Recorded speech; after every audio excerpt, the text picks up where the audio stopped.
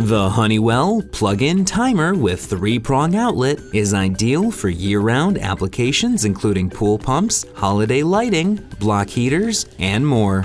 Featuring a photocell mode, this switch will activate when the darkness threshold is reached at dusk and turns off the timer at the program time.